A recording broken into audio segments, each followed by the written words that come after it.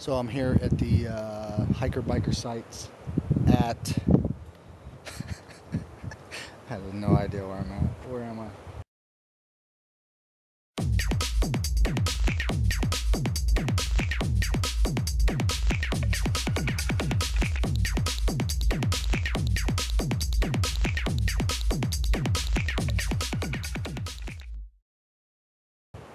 Nehalem Bay, Nehalem Bay, Oregon. And uh, looks like the sites are filling up pretty fast. We got uh, Daniel, who's actually been on the road for several months. Frank just came down from uh, Seattle. Let's, see if I get this right.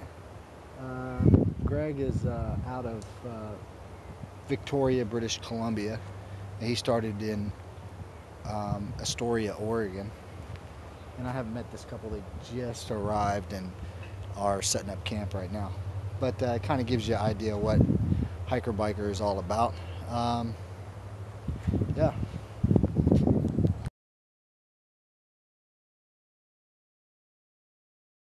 Okay, I'm uh, still on 101, headed south, and I'm passing through the.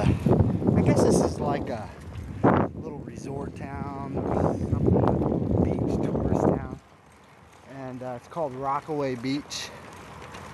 And uh, this is what it looks like on the Oregon coast with the fabulous Oregon coast weather.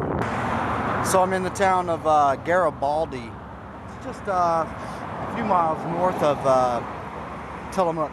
And uh, here's the uh, Garibaldi Pub and Eatery with the sign that says Welcome Bikers. So I'm assuming that means bicycle tourists on the Pacific Coast route. It's kind of cool. They also have a Dairy Queen, but it's too early to stop for Dairy Queen.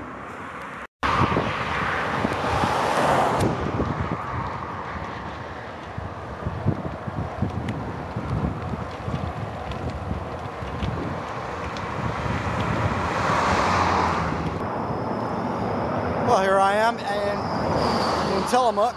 It's uh, the morning traffic has just started, and Tillamook's a town of pretty good size, so there's some traffic here. And of course, Tillamook cheese. Um, the two-year-old white cheddar, the vintage two-year-old white cheddar. That's my favorite Tillamook cheese of all. Uh, it looks like they're open and they have tours and stuff. I'm gonna pass the cheese tour up this time. Uh, I've been eating Tillamook cheese for several years and uh, I'll probably buy a block of cheese here in town.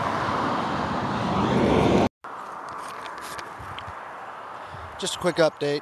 I'm, uh, I have no idea what day it is. I have no idea.